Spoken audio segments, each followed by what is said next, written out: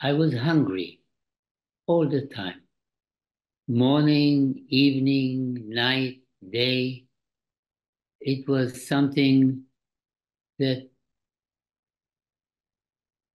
every one of us wanted to have some little bit more food and and and um, we sometimes uh, did all kinds of work jobs that uh, hopefully would give us a, another little piece of bread or half a potato or, or something like that.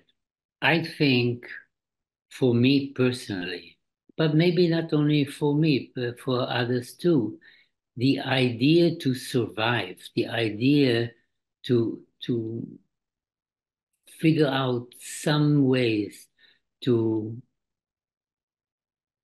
continue living. Children don't want to die. Children want to stay alive is based on ignorance.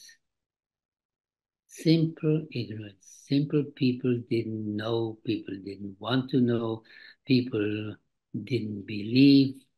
And uh, we have to try and cope and educate people more. This is my grandfather. That's me. I'm three years old. My father and my grandmother. And who's holding me? My grandfather.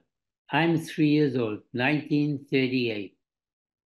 I actually lost 26 people in the Holocaust, out of which 23 were in Poland. They are buried in Poland somewhere. 23 people of my family.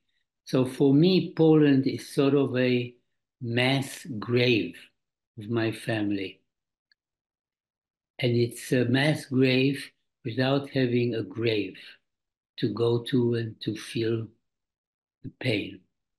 It, it's a, a feeling and a realization that I didn't have before. Because the earth of Poland, the woods, the fields, they are strewn with bones and blood for my family.